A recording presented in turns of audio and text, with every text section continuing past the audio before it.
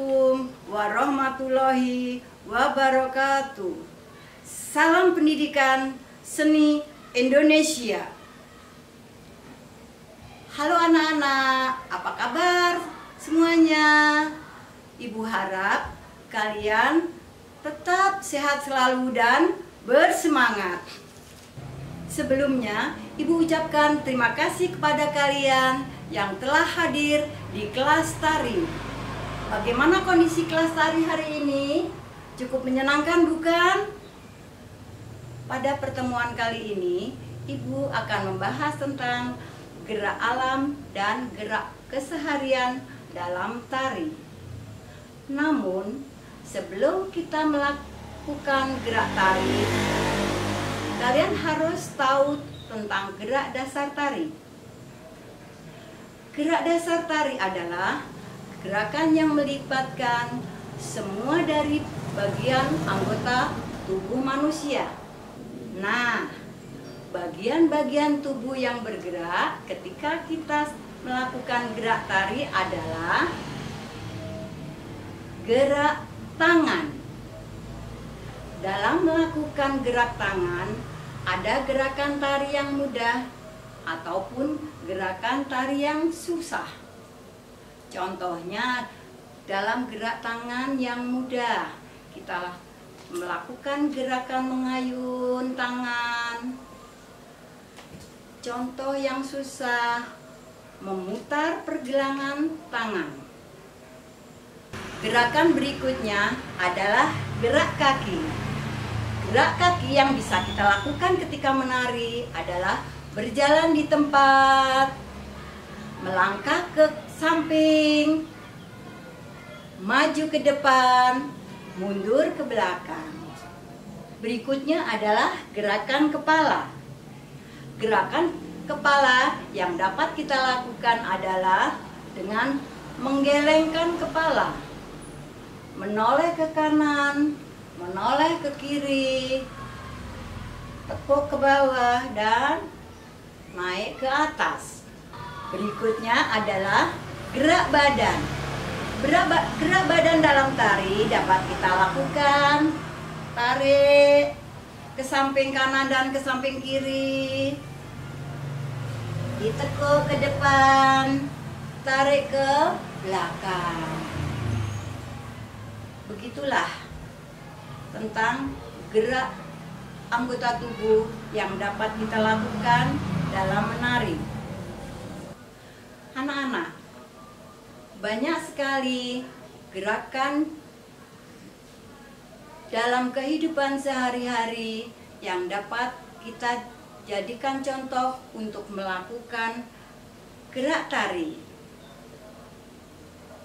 Di antaranya adalah gerak tumbuhan.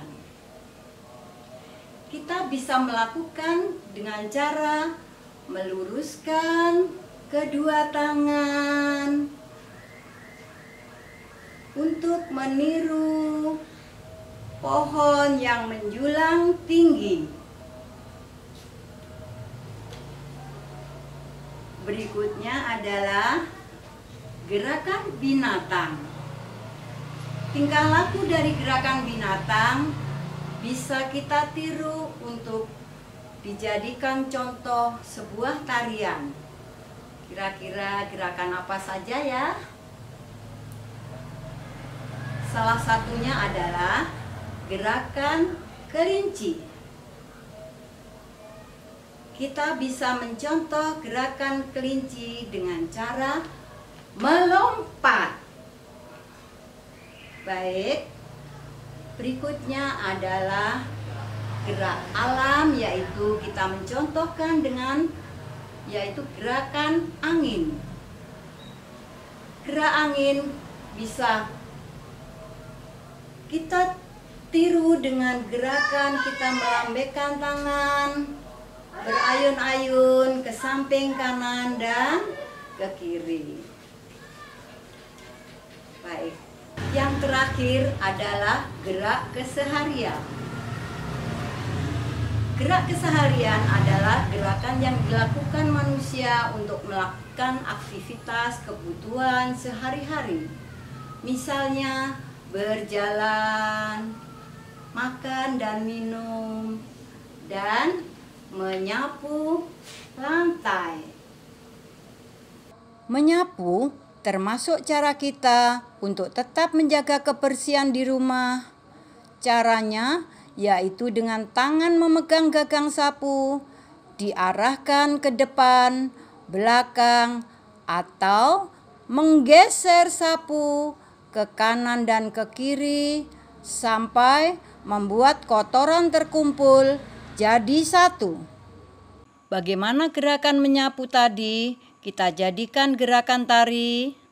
Yuk, kita lihat video tari sapu nyere.